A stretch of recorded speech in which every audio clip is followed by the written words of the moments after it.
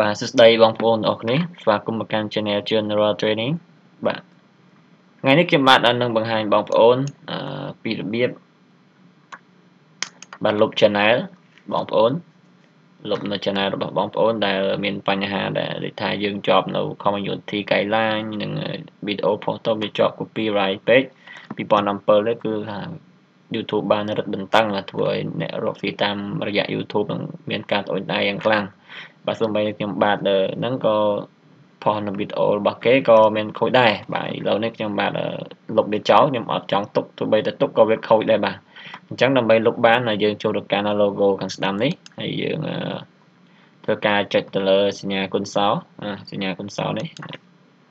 ហើយបន្តមកយើងអឺ យើងតើធ្វើការចុចទៅលើពាក្យថា advance បាទ advance ចុចលើមកហើយបន្ទាប់មកវានឹងចេញផ្ទាំងបែបនេះបាទវានឹងចេញផ្ទាំងបែបនេះយើងធ្វើការ scroll វាចុះមកក្រោមហើយបន្ទាប់មកវានឹងឃើញផ្ទាំងថា delete channel delete your channel YouTube channel won't close your Google Adsense Google account មានន័យថាយើងលុបនៅ channel ប៉ុន្តែ Google account មានថា Google របស់យើងនឹងអាចប្រើប្រាស់នៅ login ប្រើប្រាស់អីផ្សេងៗបាន បាទដើម្បីលុបយើងឥឡូវយើងលុបយើងធ្វើការចុច delete channel វាថា hide or delete your content from YouTube ចឹងយើងយកពាក្យយើងស៊ូថាម៉េចគេដាក់យើងដាក់ថា I want to hide my channel I want to delete my content ចេះដាក់ថា delete យើងយកខមមកហើយយើងចុចលើវាយើងធ្វើការជ្រើសរើស story យើងយើងរៀបមកហើយយើងចុចពាក្យថាយើងចុចពាក្យថា delete delete my content បាទបន្តមកយើងទៅធ្វើការបញ្ចូលនៅ email របស់យើងបាទ email របស់យើង channel របស់យើងដែលយើងចង់លុបហ្នឹងហើយយើងបញ្ចូលវាមកហើយ Gmail របស់ខ្ញុំ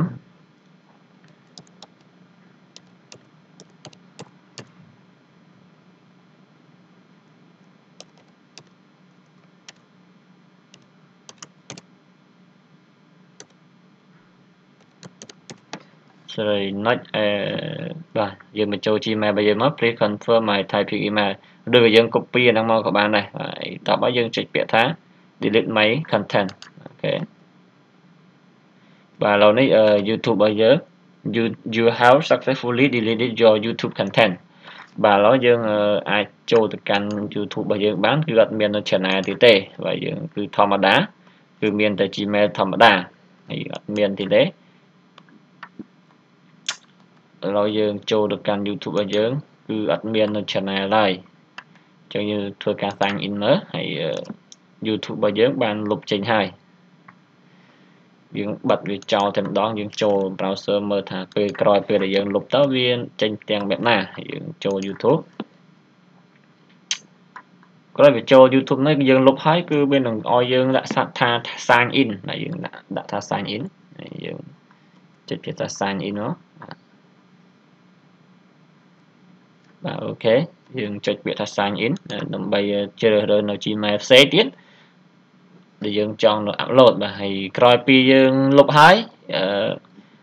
ដល់ពេលនោះគឺវានឹង load ទាំង web នេះបាទវាក៏អាចឲ្យយើងធ្វើការ sign in ឬក៏បង្កើតនៅ YouTube channel ថ្មីបានឡើយវានឹងធាក់យើងចេញតែម្ដង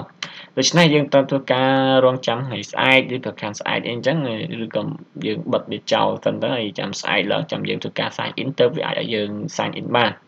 នៅនៅ Gmail ផ្សេងបើយើងចុច sign sign in ក៏វាអត់បានដែរហើយវានឹងធាក់ចេញតែម្ដងយើងចង់វាយបញ្ចូលនៅ Gmail ថ្មីក៏អត់បានដែរយើងត្រូវធ្វើការរងចាំនៅថ្ងៃស្អែកទៀតបាទទើបបានបាទយើងរងចាំវាមួយថ្ងៃមកទើបបានលើកដាក់ថា sorry we cannot sign you into YouTube while your YouTube data is being deleted please try again later បាទដោយសារតែយើងបានលុបនៅទិន្នន័យទាំងអស់ហ្នឹងហើយ យើងត្រូវធ្វើការព្យាយាម login ឬក៏ sign នៅ Gmail ថ្មីនៅលើក្រោយទៀតទៅបានបាទឥឡូវនេះបាទគឺវីដេអូនេះគឺបញ្ចប់ត្រឹមតែប៉ុណ្ណឹងបាទសង្ឃឹមថាបងប្អូននឹងដឹងទាំងអស់គ្នាហើយ